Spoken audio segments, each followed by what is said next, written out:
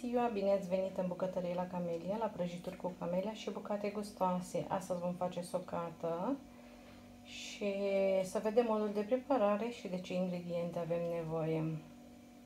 Și vom avea nevoie de două flori de soc. Eu aici le-am uscate, dar puteți pune și proaspete. Circa 200 de grame de zahăr, 2-3 lămâi, i-am și cu, tot cu coajă și zeamă și aici 2 litri de apă.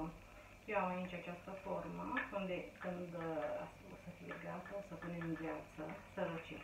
Și pentru moment am să scot și am să pun fără. Acesta este ca o palețică, vedeți?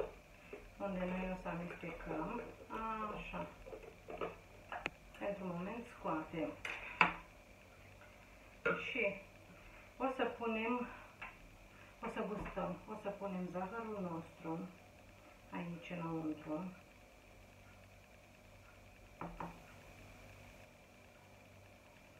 O să punem doar jumătate și dacă mai e nevoie, mai adăugăm, o să gustăm.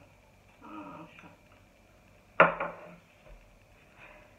O să punem și florile noastre de soc, una și două.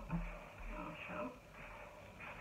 Eu uh, coaja de lămâie am să o pun așa și am să pun coaja de lămâie rasă de la o lămâie. Aici o am de la două și am să pun doar de la una și apoi o să strecurăm.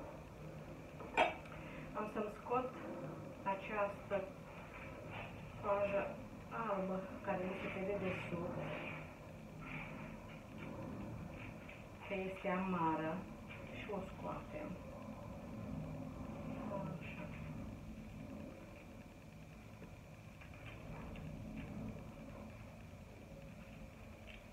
și o să punem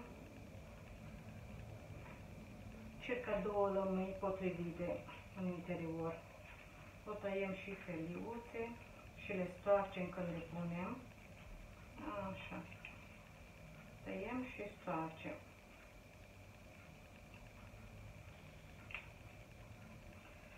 Așa. O să curățim și pe aceasta de pielea albă.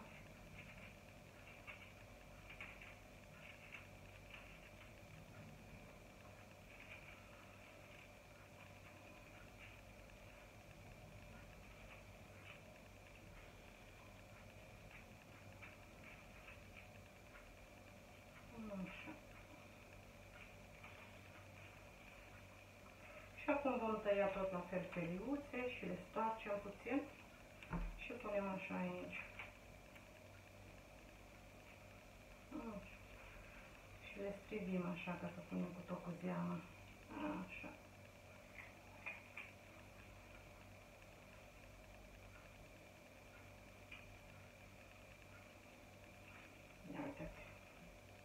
Așa și acum punem căpăcelul nostru sau cu o lingură amestecați bine, bine, bine, bine. Așa.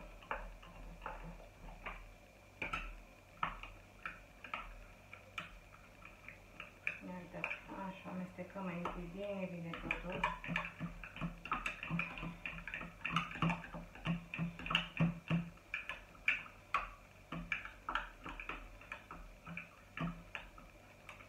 Și o să lăsăm pentru 3-4 zile amestecăm de 2-3 ori pe zi. În zilele mai răcuroase putem adăuga și o bucățică mică de drojdie ca să fermenteze mai repede. Așa. Și lăsăm pentru 3-4 zile până când este gata. Deci în momentul când începe să fermenteze, atunci este gata. Gustăm, acum gustăm și vedem dacă este bun de zahăr. Așa, după ce s-a topit zahărul. Și dacă mai e nevoie de zahăr, mai adăugăm.